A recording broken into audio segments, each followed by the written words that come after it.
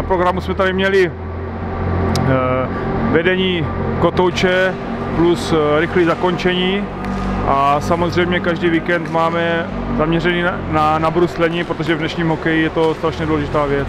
Ti hráči, kteří se chcou zdokonalovat, tak, eh, tak si myslí, že se zdokonalují a, a ti hráči se posouvají výš. Někdo se sem těší, někdo eh, jde, myslím, na poput rodičů, jo, i něk, nějaký slzy jsme tady viděli, ale myslím, že pře, převládá ta radost a, a to je to, to důležité. Jo, byli šikovní, někteří byli až nadprůměrní, si myslím teda. Teda stříleli jako teda hodně dobře, jo. Ale bylo to super, bylo to super.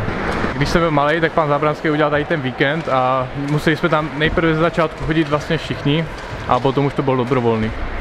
Pro ty děcka je to zábavný strašně a mají tady vlastně dobrý trenéry, si myslím, v Kometě máme nejlepší trenéry a si myslím, že to je paráda.